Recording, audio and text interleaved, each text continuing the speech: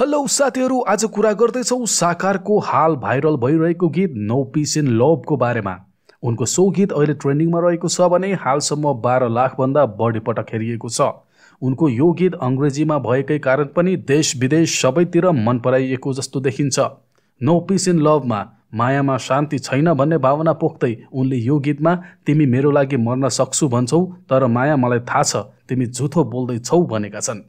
त्यसो त ऱ्याप गीतमा राम्रो दखल रहेका साकारले नो पिस इन लभमा भने फरक प्रस्तुति दिएका छन्। उनले यो गीतमा स्टार बोय भर्जिनलाई पनि फिचर गरेका छन्। उनको यो गीतले नेपालमा मात्र नभएर विदेशमा पनि राम्रै ठाउँ ओगट्न सफल भएको छ। हालको अवस्थामा नेपालमा म्युजिक क्याटेगोरीमा नम्बर वानमा ट्रेनिङ रहेको छ भने दुबईमा हाल आठ नम्बरमा रहेको छ। अस्ट्रेलियामा भने म्युजिक क्याटेगोरीमा पाँच नम्बरमा रहेको छ।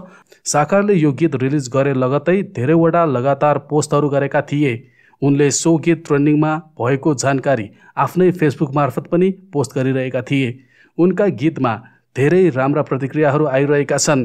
काठमाडौँका नवनिर्वाचित मेयर तथा ऱ्यापर बालेन शाहले पनि ओके छ त भन्दै कमेन्ट गरेका थिए भने नायिका प्रियङ्का कार्कीले पनि लेखेका छन् अति दामी लभ इट। त्यसरी नै पूर्व मिस नेपाल श्रृङ्खला खतिवडाले साकार र झोले दुवैको तारिफ गर्दै लेखेका छन् Sakar and Jhole find a better duo love it.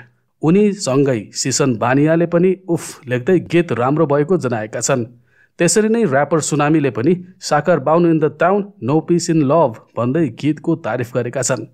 नेपालका सेलिब्रेटी लगायत धेरै साकारका फ्यानहरूले सो गीतलाई राम्रो भनिरहेका छन् भने नराम्रो प्रतिक्रिया लगभग भेट्टाउन नै सकिँदैन। तपाईँलाई साकारको यो गीत कस्तो लाग्यो? सुन्नुभएको छैन भने एकपटक सुनिदिनुहोला र आफ्नो प्रतिक्रिया कमेन्ट गरिदिनुहोला।